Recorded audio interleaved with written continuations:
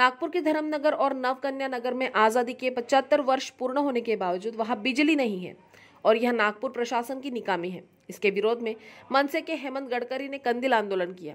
आज़ादी के 75 वर्ष पूरे हो गए, लेकिन उपराजधानी नागपुर में धर्मनगर और नवकन्या नगर जैसे कई इलाके हैं जहाँ अब तक बिजली नहीं पहुँची है, जो बहुत शर्म की बात है।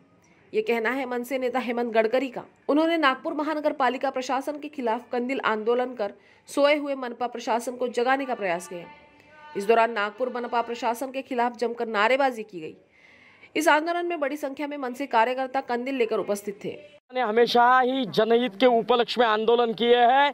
आज एक कंदिल मोर्चा के माध्यम से हमने हुई सरकार को जगाने का, फिर वो चाहे मनपा में भाजपा की सत्ता हो या राज्य में महाविकास नाम की भकास आघाड़ी की सत्ता हो।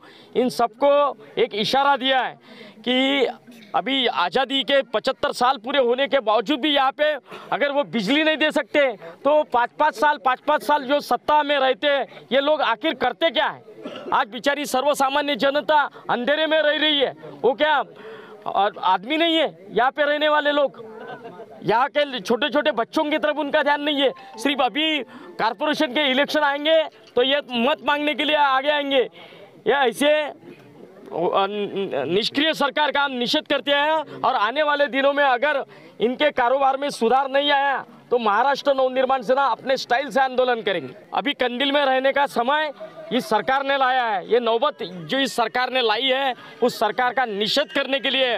और जल्द से जल्द ये धर्मनगर और नवकन्या नगर, इसमें तुरंत बिजली आना चाहिए। ये मांग को लेकर महाराष्ट्र नवनिर्माण सेना ने आज एक कंदिल मोर्चा का ऐलान किया था।